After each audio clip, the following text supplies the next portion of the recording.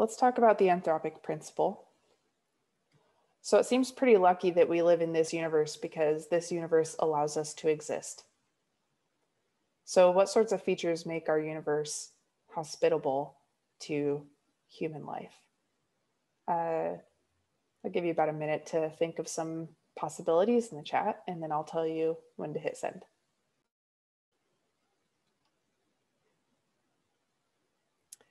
Very true.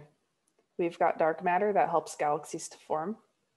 Um, we can have atoms. That's a good good thing.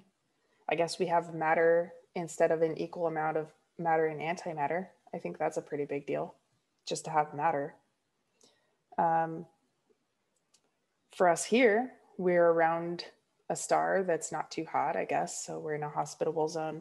We're in a habitable zone of our galaxy. We're not too close to galactic center where we might be blasted by um, an active galactic nucleus from time to time. Um, yeah, the four forces have strengths that make it just right for all of this to be possible. And we seem to have the right matter and energy density for the universe not to have collapsed in on itself before it could start forming galaxies and solar systems and planets and us. So I came up with, well, the book came up with most of these, I guess, but you came up with them too. So there's all kinds of things that make our universe hospitable. We've got our dense regions, so we're forming galaxies and stars if the density fluctuations in the cosmic microwave background, right, if those were too big, then it could have been that there would be too much mass in each one. And so it would just collapse into a black hole directly instead of forming a galaxy first.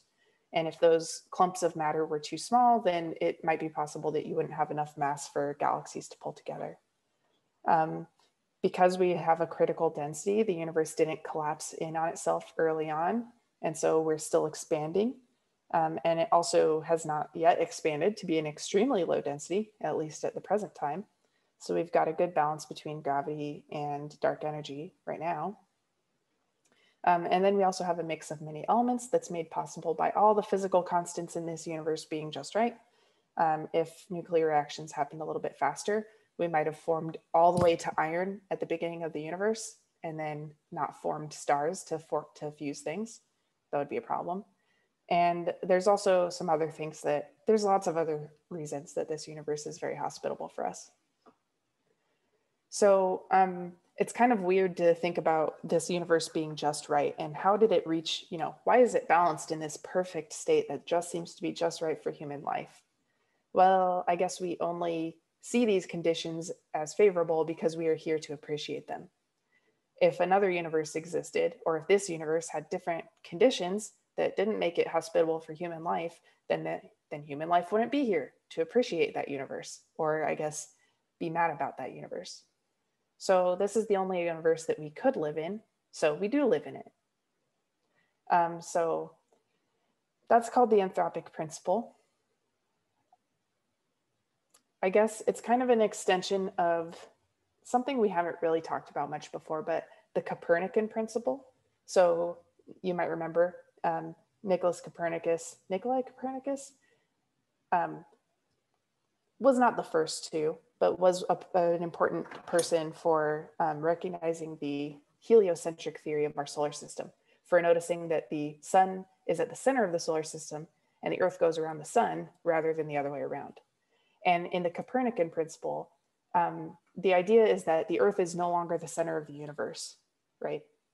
And the anthropic principle is kind of the farthest um, extension of that principle because it says not only are we not central to our solar system, we're also not central to our galaxy.